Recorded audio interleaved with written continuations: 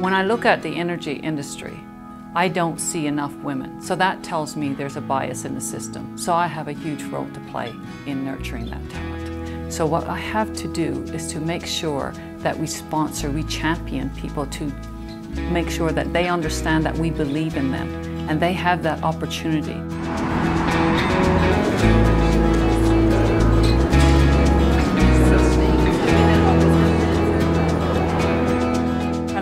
As country chair uh, really, I think, sends a very clear signal that there are women in Shell who can not only be good at what they do, but they can also uh, reach limits that nobody had ever really expected we would.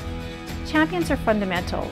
For women to see role models uh, higher up in the organization, I think women like Lorraine help uh, not only advocate and support other women, but they are strong role models that younger women can look forward to and look up to in terms of what they can achieve in the organization. Lorraine deserves this honor because not only has she achieved the top uh, of a woman in business in Canada, but she's remained very humble and she remains very interested in, in everybody's story and she remains very interested in helping them proceed along their path of their career and their life in general. Women and diverse cultures need to understand that there's people out there who are really behind them and really believe that diversity is important for business improvement.